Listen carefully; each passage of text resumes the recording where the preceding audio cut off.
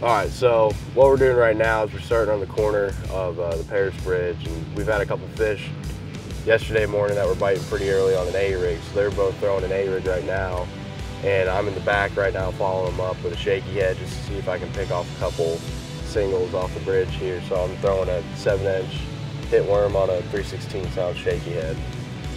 Got him. Begging. Oh.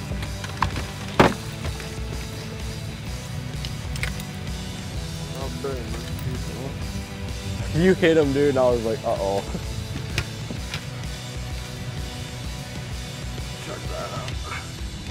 Old Berkley Power swimming down the hatch.